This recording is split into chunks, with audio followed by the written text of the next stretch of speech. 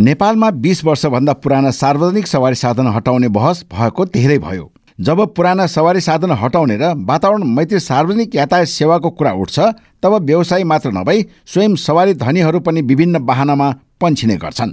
त्यसमा पनि वायु प्रदूषण नियन्त्रण गर्ने अख्तियारी पाएको सरकारी निकायको प्रभावकारी अनुगमन नहुँदा यस्ता अभियान त्यसै खेर जाने गरेका छन्। पछिल्लो समय वायु प्रदूषण हुनमा नब्बे प्रतिशत भन्दा बढी सार्वजनिक सवारी साधनको भूमिका रहेको भन्दै फेरि सरकारले यसमा कडाई गर्ने अभियान थालेको छ। वातावरण विभागले यही पुस एक गतेबाट सार्वजनिक सवारी साधनको वायु प्रदूषणको मात्रा चेक जाँचमा कडाई गर्न थालेको छ। विभागले विभिन्न स्थानमा सार्वजनिक सवारी साधनको वायु प्रदूषण चेक जाँच गर्न थालेको छ। विभागले प्रदूषण फेल भएका सवारी साधनलाई कारवाही पनि गर्न थालिएको छ।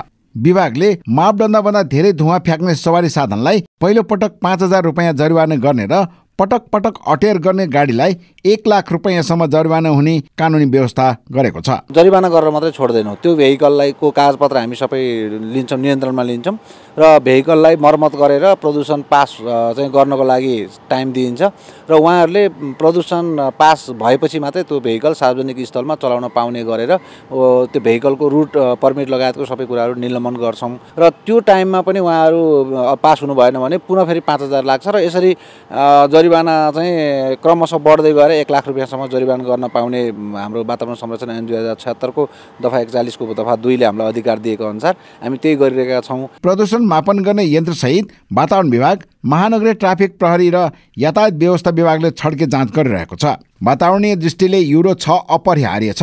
काठमाडौँ लगायत सहरी क्षेत्रमा वायु प्रदूषणको मुख्य स्रोत नै सवारी साधन रहेको भन्दै विभागले डिजेलबाट चल्ने गाडीको प्रदूषण चेक जाँचमा कडाई गरेको जनाएको छ। पुराना भए पनि बेला बेलामा सवारी साधन मर्मत गर्ने हो भने सरकारले तोकेको मापदण्ड पुरा हुने विभागको भनाइ छ। सरकारले ठुला तथा सार्वजनिक सवारीले छ छ महिनामा तथा साना तथा मजौला साधनले एक वर्षमा एकपटक सवारीको प्राविधिक जाँच गराउने कानुनी व्यवस्था गरेको छ। तर सरकारी निकायको नियमित अनुगमन नहुने र सवारी धनीले कानुनको उल्लङ्घन गर्ने परिपाटीका कारण सो व्यवस्था फितलो हुँदै आएको छ। प्रदूषण सवारीको आयुमा निर्भर हुँदैन। प्रदूषण चाहिँ त्यो सवारी साधनको रेगुलर चाहिँ मर्मत समार भएको छ कि छैन। साधारण कुरा एयर फिल्टर चाहिँ सफा गर्ने कुरालाई पनि उहाँहरूले नगरेको देखिन्छ होइन। अब इन्जिनको अवस्थाको कारणले गर्दाखेरि प्रदूषण भएको छ भने त्यो पुरानो सवारी साधनमा बढी हुन्छ। तर प्रदूषण फेल नयाँ सवारी साधन पनि भएको छ भनेको तपाईँ टोयोटाको त्यो हायस जस्तो भेहिकलहरू पनि प्रदूषण फेल भएको छ।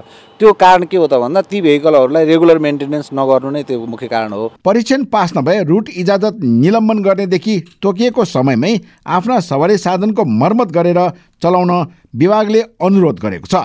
इमेज समाचारका लागि क्यामेरा पर्सन राजेन्द्र नापितका साथ दीपक श्रेष्ठ काठमाडौँ।